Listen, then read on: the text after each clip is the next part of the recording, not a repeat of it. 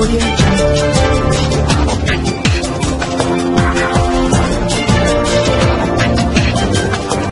भारत, केवल खबरें और कुछ नहीं। समग्र शिक्षा अभियान के तहत दो दिवसीय जिला स्तरीय खेलोत्सव 2020 का हुआ शुभारंभ।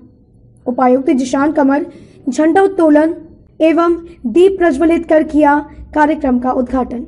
कबूतर उड़ा कर दिया शांति का संदेश, कहा, खेल जीवन को देगा नया आयाम।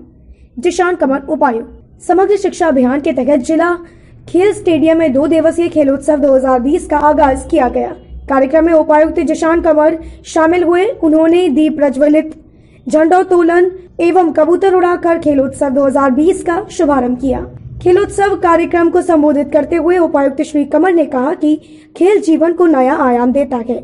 उन्होंने कहा कि खेल में हार जीत लगी रहती है। लेकिन जो खिलाड़ी हार के बाद भी अपने मनोबल को बनाए रखता है, वही भविष्य में जीत की मंजिल पाने में कामयाब होता है। उन्होंने सभी बच्चों को पूरी ईमानदारी से खेल को खेलने एवं जीवन में आगे बढ़कर जिला, राज्य एवं देश का नाम रोशन करने के लिए प्रेरित किया।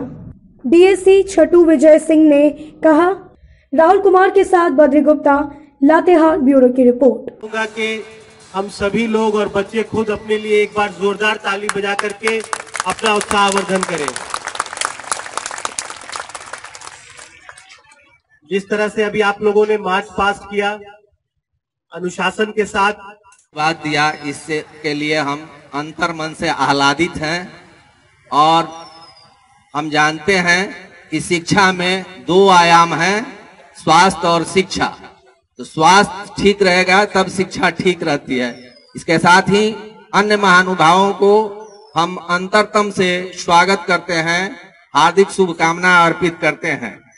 महोदय, हम जानते हैं कि पत्थर सी हो मांसपेश या लोहे से भूजदंड अभय, तभी जवानी पाती जय